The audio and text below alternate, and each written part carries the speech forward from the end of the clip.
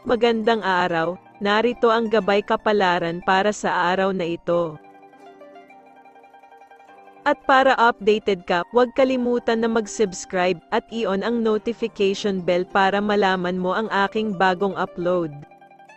Rat, huwag magdahan-dahan at magpatuloy sa paglipat patungo sa iyong mga layunin. Maaaring may mga hadlang sa daan at mga hadlang sa iyong daan ngunit huwag kang makagambala sa kanila. Magsimulang buuin ang iyong network at makakatulong din ito sa iyo upang mabilis na maabot ang iyong mga layunin. Dapat kang gumastos ng kaunting pera sa mga bagay na gusto mo.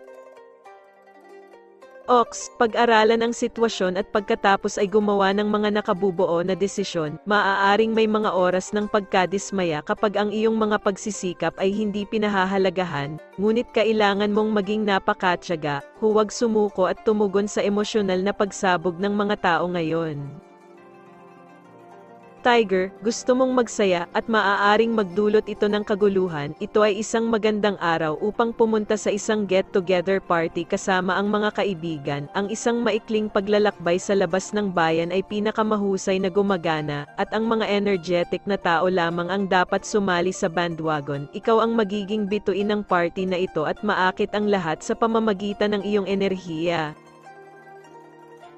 Rabbit, dapat kang gumawa ng isang listahan ng mga nakabinbing gawain sa umaga. Ito ay isang magandang araw kung kailan dapat kang tumutok sa mga papeles, pagkukumpuni, at hindi natapos na gawain, kailangan mong gumawa ng maingat na pagsusuri ng mga magagamit na mapagkukunan at maingat na magtrabaho patungo sa kanilang paglalaan.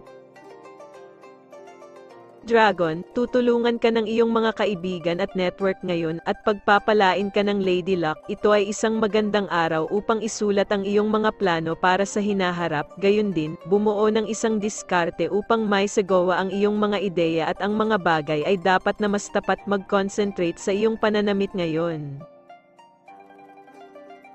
Snake, ikaw ang magiging trendsetter ngayon at gagawin ka nitong napakasikat sa mga social circle. Maaari kang makatagpo ng ilang estranghero, at maaaring magbigay ito ng ilang magagandang pagkakataon. Maaari kang pumasok sa ilang partnership, at malulutas ang iyong mga legal na usapin. Horse, dapat mong patuloy na kunin ang iyong mga pagkakataon at patuloy na subukan anuman ang sitwasyon sa paligid mo. Naghahanap ka ng isang partikular na bagay, ngunit maaaring hindi pinapayagan ng mga pangyayari. Kailangan mong maging maasahin sa mabuti at maging matapang na harapin ang masamang sitwasyon. Makakakuha ka ng isang kaaya-ayang sorprese kapag hindi mo inaasahan ito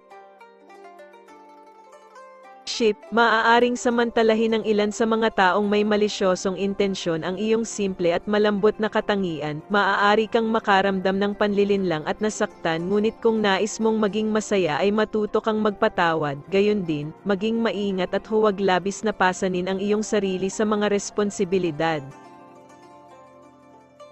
Monkey, ang araw ay maaaring maging stress para sa iyo at ito ay maaaring magdulot ng pinsala sa iyong pangkalahatang kalusugan, matagal ka nang nasa isang nakakalaso na relasyon at hindi ito gumagana, maaaring wala ang iyong kalooban, at maaaring lumitaw ang pagkabigo dahil sa pagkaantala sa mga aktibidad, mag-relax at magpabata ngayon upang labanan ang stress.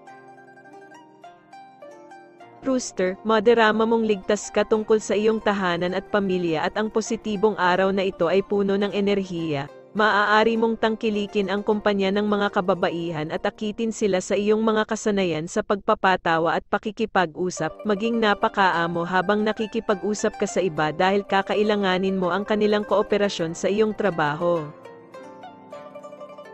Dog, ito ay isang araw na puno ng maraming aktibidad at mga social get-together na kaganapan. Bibigyan ka rin ito ng pagkakataong linisin ang iyong bahay at gawin itong medyo organisado, tapusin ang maximum na mga aktibidad at humingi din ng tulong kapag kailangan mo ito. Patuloy na magsikap sa paghubog ng iyong karera. Pig, ito ay isang magandang araw upang lumipat kasama ang pamilya at magsaya. Ito rin ay isang magandang araw upang magawa ang ilang pagsasaayos sa iyong bahay at bumili ng ilang kasangkapan kung maaari kang sumali sa ilang mga kaganapan sa komunidad. Ito ay magbibigay sa iyo ng pagkakataong makipag-network sa ilang mga bagong tao. Maaari ka ring pumasok sa isang nakatoong relasyon sa iyong interes sa pag-ibig. Para sa mga patuloy at palaging nanonood sa aking channel, salamat at pagpalain kayo.